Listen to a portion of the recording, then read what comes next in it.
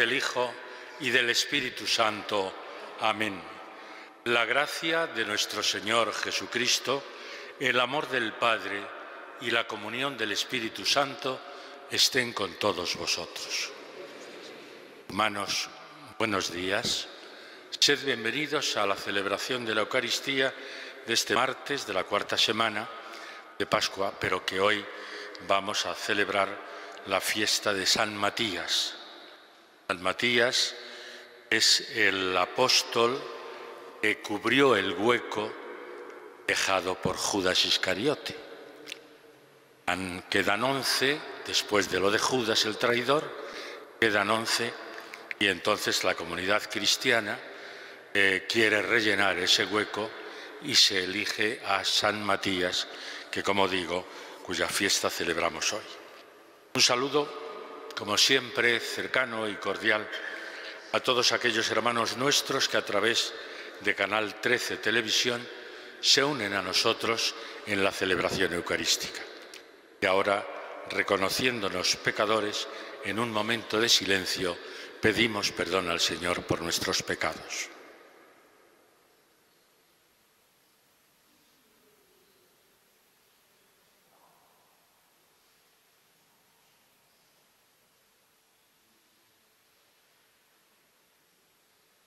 El primogénito de entre los muertos, Señor, ten piedad.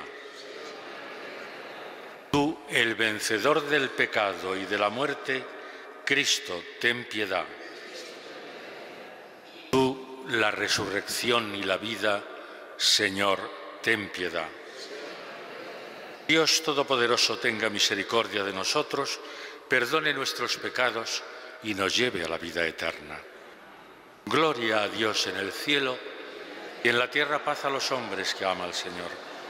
Por tu inmensa gloria te alabamos, te bendecimos, te adoramos, te glorificamos. Te damos gracias, Señor Dios, Rey celestial, Dios Padre Todopoderoso, Señor Hijo único, Jesucristo, Señor Dios, Cordero de Dios, Hijo del Padre. Tú que quitas el pecado del mundo, ten piedad de nosotros. Tú que quitas el pecado del mundo, atiende nuestra súplica. Tú que estás sentado a la derecha del Padre, ten piedad de nosotros. Porque solo tú eres santo, solo tú, Señor, solo tú, Altísimo Jesucristo, con el Espíritu Santo, en la gloria de Dios Padre. Amén. Oremos. Oh Dios, que agregaste a San Matías al colegio de los apóstoles, concede por su ayuda a quienes nos alegramos en la suerte de tu predilección, ser contados entre los elegidos. Por nuestro Señor Jesucristo, tu Hijo, que vive y reina contigo en la unidad del Espíritu Santo y es Dios por los siglos de los siglos.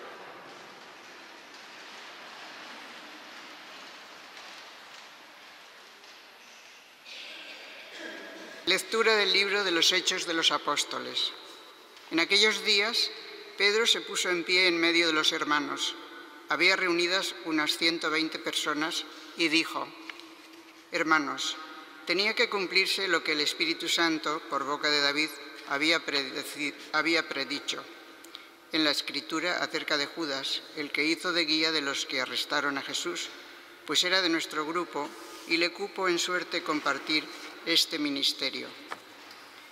Y es que en el libro de los Salmos está escrito que su morada queda desierta y que nadie habite en ella, y también que su cargo lo ocupe otro. Es necesario, por tanto, que uno de los que nos acompañan, de los que nos acompañaron todo el tiempo en que convivió con nosotros el Señor Jesús, comenzando en el bautismo de Juan hasta el día en que nos fue quitado y llevado al cielo, se asocia a nosotros como testigo de su resurrección. Propusieron dos, José, llamado Barsabá, de sobrenombre justo, y Matías, y rezando dijeron, Señor, tú que penetras el corazón de todos, muéstranos a cuál de los dos has elegido para que ocupe el puesto de este ministerio y apostolado, del que ha prevaricado Judas, para marcharse a su propio puesto. Le repartieron suertes, le tocó a Matías y lo asociaron a los once apóstoles. Palabra de Dios. Alabamos, Señor. El Señor lo sentó con los príncipes de su pueblo. El Señor lo sentó con los príncipes de su pueblo. Alabad siervos del Señor, alabad el nombre del Señor. Bendito sea el nombre del Señor, ahora y por siempre. El Señor lo sentó con los príncipes de su pueblo. De, de la salida del sol hasta su ocaso, alabado sea el nombre del Señor. El Señor se eleva sobre todos los pueblos, su gloria sobre los cielos. El Señor lo sentó con los príncipes de su pueblo. ¿Quién como el Señor Dios nuestro, que habita en las alturas y se abaja para mirar al cielo y a la tierra? El Señor lo sentó con los príncipes de su pueblo. Levanta del polvo al desvalido, alza de la basura al pobre, para sentarlo con los príncipes, los príncipes de su pueblo. El Señor lo sentó con los príncipes de su pueblo. Aleluya, aleluya, aleluya. Yo os he elegido del mundo, dice el Señor, para que vayáis y deis fruto, y vuestro fruto permanezca. Aleluya, aleluya.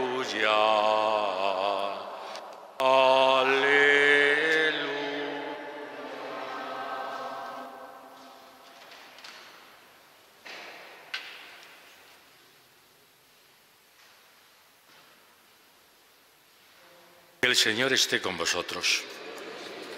Evangelio de nuestro Señor Jesucristo según San Juan. En aquel tiempo dijo Jesús a sus discípulos, como el Padre me ha amado, así os he amado yo. Permaneced en mi amor.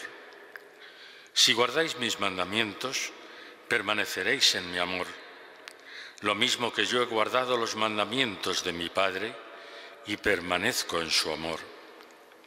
Os he hablado de esto para que mi alegría esté en vosotros y vuestra alegría llegue a plenitud. Este es mi mandamiento, que os améis unos a otros como yo os he amado. Nadie tiene amor más grande que el que da la vida por sus amigos. Vosotros sois mis amigos si hacéis lo que yo os mando. Ya no os llamo siervos, porque el siervo no sabe lo que hace su Señor. A vosotros os llamo amigos, porque todo lo que he oído a mi Padre os lo he dado a conocer. No sois vosotros los que me habéis elegido, soy yo quien os he elegido y os he destinado para que vayáis y deis fruto y vuestro fruto permanezca de modo que lo que pidáis al Padre en mi nombre, os lo dé. Esto os mando, que os améis unos a otros. Palabra del Señor. Sentaos un momento. Efectivamente, al comenzar la primitiva comunidad cristiana, donde la evangelización era algo obligatorio, algo necesario. Eh, los discípulos y los, eh, de los apóstoles y los discípulos tenían, sentían, podemos decir mejor, la necesidad de dar a conocer al mundo la experiencia que ellos habían tenido. Y la experiencia era que Jesús, el enviado del Padre, al que el Padre había enviado para hacerse uno de nosotros, igual a nosotros en todo menos en el pecado, había resucitado. Y había resucitado como salvación, como redención, como reconciliación de la humanidad con Dios. Y eso lo tenían que comunicar a la gente, se lo tenían que decir a todos. Entonces, claro, había quedado ese hueco como os decía hace un momento, el hueco que había dejado Judas Iscariote el traidor. Entonces la primitiva comunidad dice, no, tenemos que nombrar a otro para volver a ser los doce, símbolo también de las doce tribus de Israel. Entonces tenemos que elegir a otro. ¿Y a quién podemos elegir? Eh, seleccionan a dos, como hemos oído en la, en la lectura primera. Propusieron dos. José, llamado Barsabá, de sobrenombre justo, y Matías. Seleccionan a esos dos. ¿Y qué es lo primero que hacen? Ponerse a rezar en oración. Señor, tú que penetras, tú que penetras el corazón de todos, muéstranos a cuál de los dos has elegido para que ocupe el puesto de este ministerio y apostolado. Se ponen en oración, que es, pues eso quizá, lo más propio de la comunidad cristiana. Ponerse a orar, ponerse en manos del Señor para que Él pues nos, nos señale a cuál de los dos. Pero eso sí, había, digamos, en los dos una condición previa. La condición previa es que también habían sido testigos de la resurrección del Señor. Como os decía hace un momento, lo principal del mensaje que ellos tienen que transmitir a todos los que les quieran oír es que Jesús ha resucitado. Entonces, claro, tienen la condición es esa, que sean testigos de la resurrección del Señor.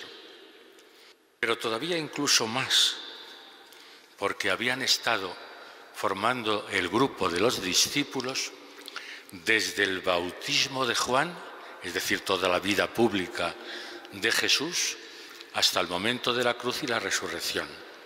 Con lo cual estaban o tenían que elegir a una persona de absoluta confianza y que conociera todo el mensaje de Jesús en plenitud. Por eso, desde el bautismo de Juan cuando había empezado la vida pública, habían escuchado sus enseñanzas, habían visto sus milagros, habían oído eh, y acompañado a Jesús en el momento sacrificial, en el momento de la cruz. Y ahora dar testimonio de la resurrección. Lo más lógico, tal como nos dice la, la lectura, dice José llamado Barsaba, de sobrenombre justo. Es decir, que lo más lógico hubiera sido que hubieran elegido a este, puesto que le llamaban el justo. Sin embargo, los caminos del Señor no son siempre los caminos de los hombres. Y entonces, en vez de elegir al llamado justo, eligen a Matías. Le asocian a los once apóstoles para que él también dé cuenta ante el mundo del apostolado, del ministerio, del mandato de Jesús. ¿Cuál es el mandato de Jesús que hemos oído en el Evangelio? El mandato del amor. Lo hemos dicho mil veces, lo hemos leído mil veces y mil veces también se nos ha invitado a que nosotros sigamos el mandato del amor. Pero no Jesús no lo dice porque sí, porque se le ocurre a Él, sino porque Él se siente amado por el Padre.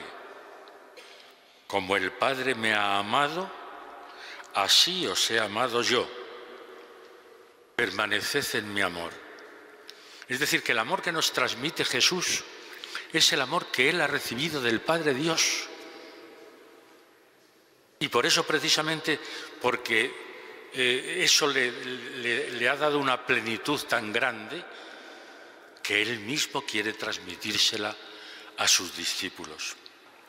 Os he hablado de esto para que mi alegría esté en vosotros y también vuestra alegría llegue a plenitud. Qué hermosas son estas palabras que nos transmite el Evangelio.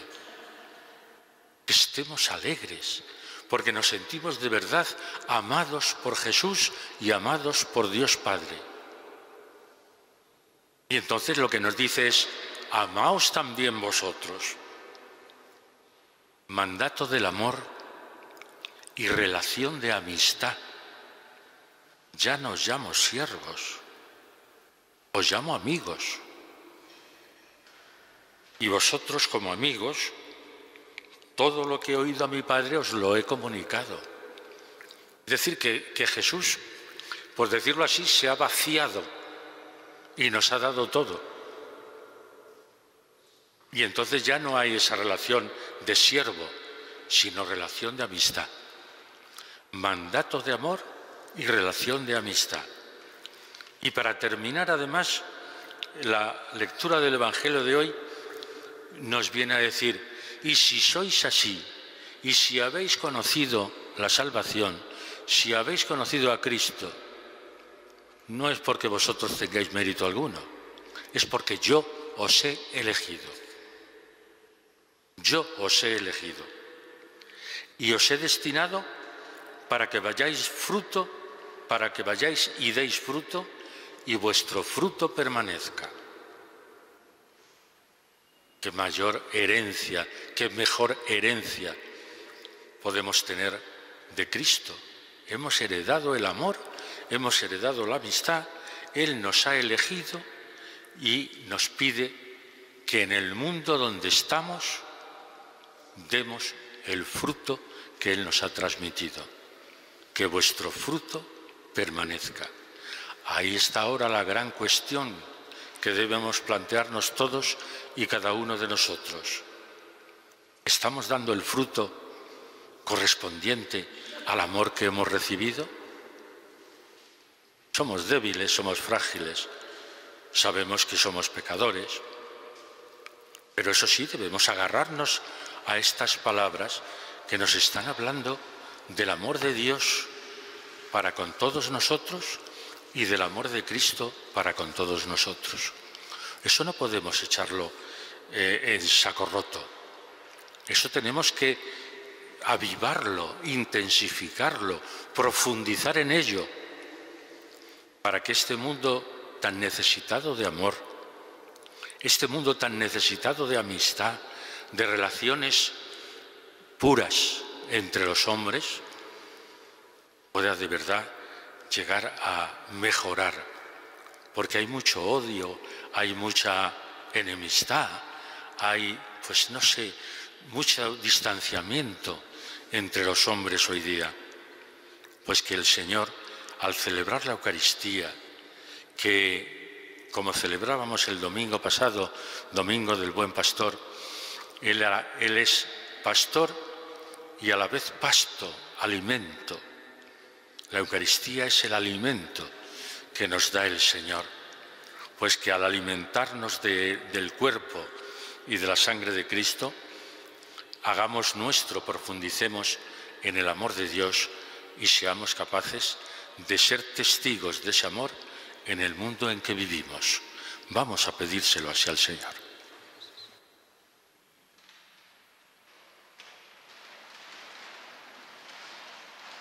Tenemos un solo Dios, un solo mediador que es Jesucristo. Dirijamos por Él al Padre plegarias y oraciones y súplicas por todos los hombres. Por la Iglesia, una santa, católica y apostólica, para que se edifique y crezca hasta llegar a la plenitud de Cristo, roguemos al Señor. Te rogamos, óyenos. Por el Papa sucesor de Pedro, para que presida en caridad las iglesias de Occidente y Oriente, roguemos al Señor. Te rogamos, óyenos. Por los marginados, por los encarcelados, por los que sufren a causa de la fe en Cristo o de sus convicciones religiosas, para que encuentren ayuda, consuelo y liberación, roguemos al Señor. Te rogamos, óyenos. Por la paz y la solidaridad universales, para que se destierren las guerras, se acaben las discordias y reine la armonía entre los hijos de un mismo Padre, roguemos al Señor. Te rogamos, óyenos. Por los enfermos, sus cuidadores y familiares, para que todos encuentren la paz y el consuelo del Señor, roguemos al Te Señor. rogamos, óyenos. Por los que celebramos los mis- misterios de la Pascua del Señor, para que nos alegremos de compartir su pasión, para desbordar de gozo el día en que se manifestará su gloria, roguemos al Señor. Te rogamos, óyenos. Señor Dios nuestro, tú has instruido a todos los pueblos con la predicación del apóstol San Matías. Concede a cuantos celebramos hoy su fiesta ser como Él, testigos de tu verdad ante el mundo. Por Jesucristo nuestro Señor. Amén.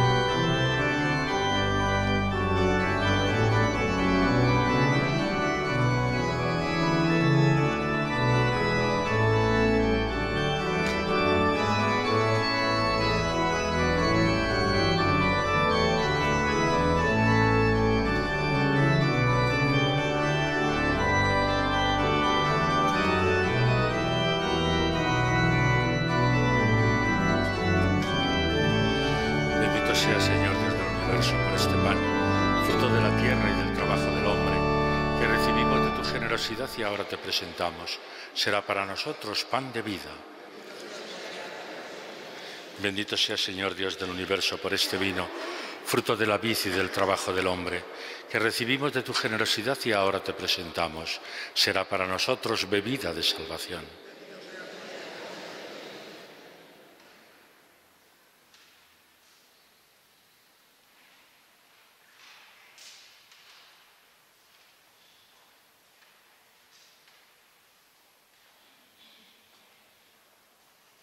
Oremos, hermanos, para que este sacrificio mío y vuestro sea agradable a Dios Padre Todopoderoso.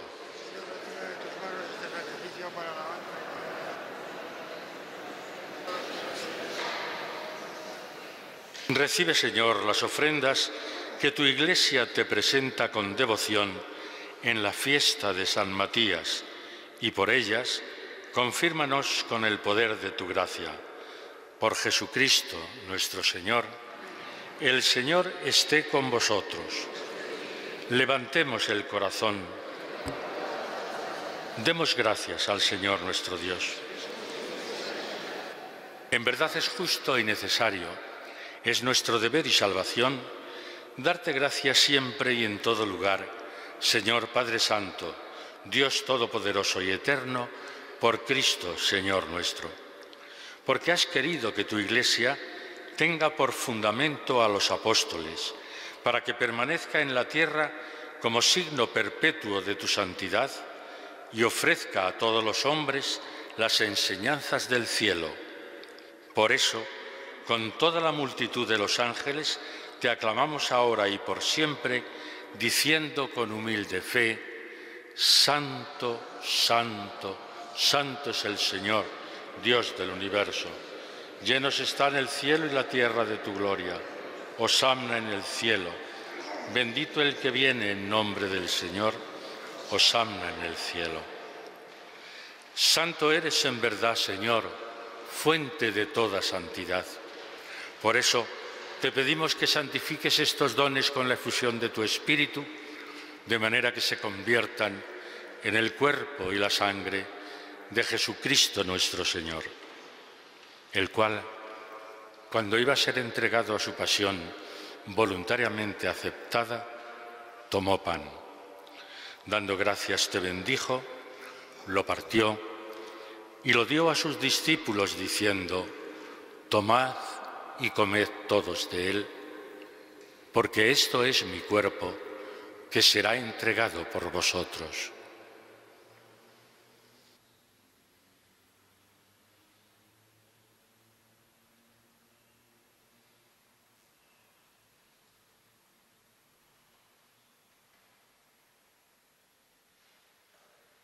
Del mismo modo, acabada la cena, tomó el cáliz y dándote gracias de nuevo, lo pasó a sus discípulos diciendo, Tomad y bebed todos de él, porque este es el cáliz de mi sangre, sangre de la alianza nueva y eterna, que será derramada por vosotros y por muchos para el perdón de los pecados.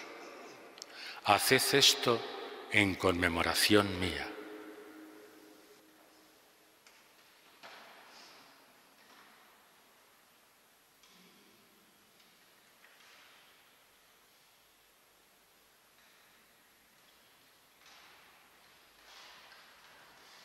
Y este es el sacramento de nuestra fe.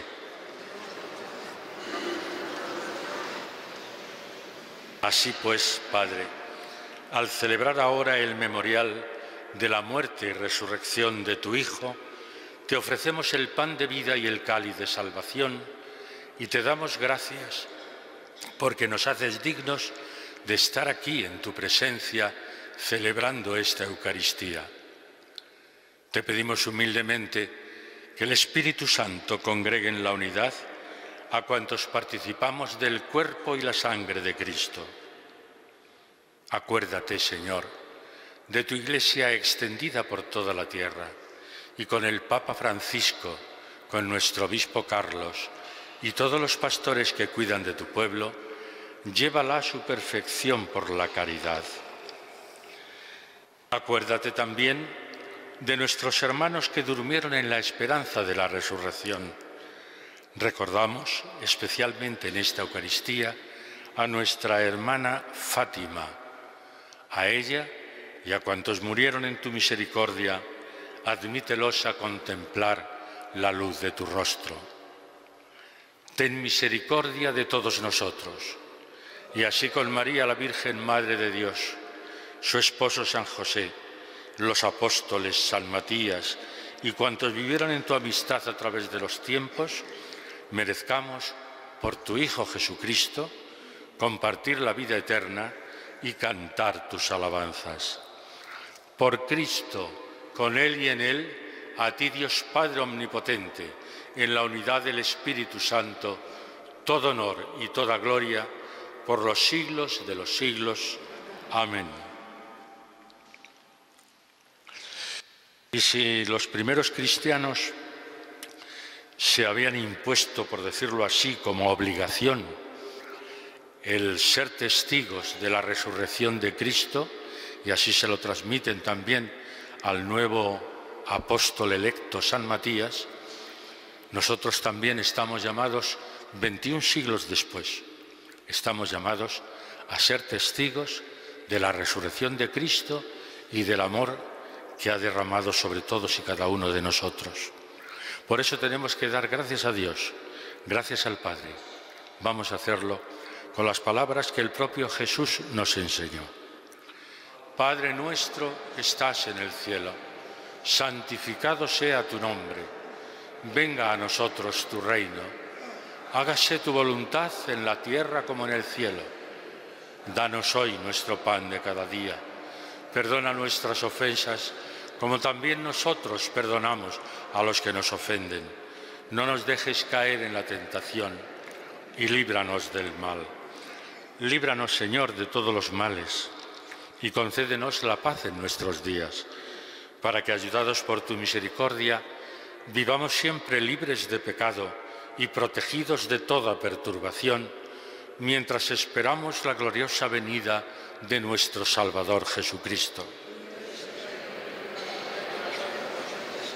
Señor Jesucristo, que dijiste a tus apóstoles, la paz os dejo, mi paz os doy.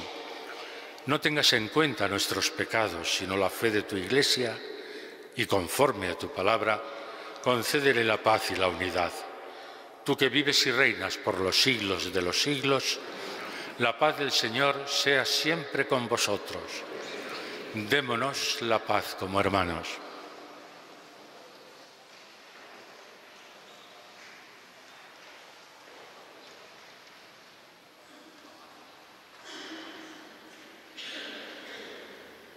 Cordero de Dios que quitas el pecado del mundo, ten piedad de nosotros. Cordero de Dios que quitas el pecado del mundo. Cordero de Dios que quitas el pecado del mundo, danos la paz.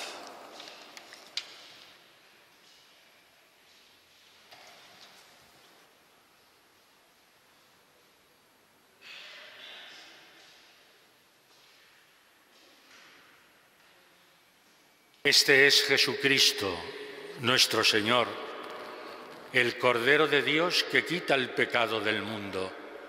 Dichosos los invitados a esta cena. Señor, no soy digno de que entres en mi casa, pero una palabra tuya bastará para sanarme. El cuerpo y la sangre de Cristo. Amén.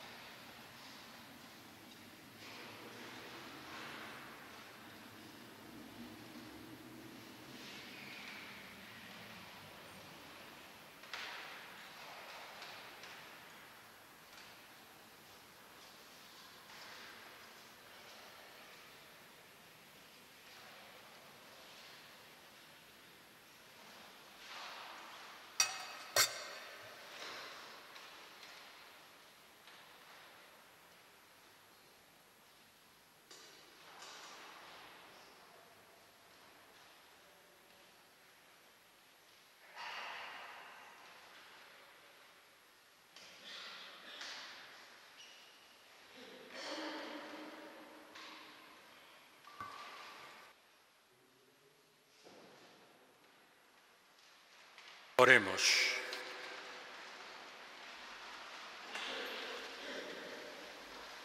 No dejes, Señor, de colmar a tu familia con los dones divinos y por intercesión de San Matías, dígnate recibirnos en la luz para tomar parte de la suerte de los santos. Por Jesucristo nuestro Señor, el Señor esté con vosotros la bendición de Dios Todopoderoso, Padre, Hijo y Espíritu Santo descienda sobre vosotros. Mañana, como sabéis, es la fiesta de San Isidro, patrón de Madrid. Por este motivo, 13 Televisión les ofrecerá a partir de las 11 de la mañana la misa que se celebra en la colegiata de San Isidro, presidida por don Carlos Osoro, cardenal arzobispo de Madrid. Por este motivo, naturalmente, mañana no se retransmitirá la misa desde aquí, desde la Concepción. Pues nada, paséis un buen día, podéis ir en paz.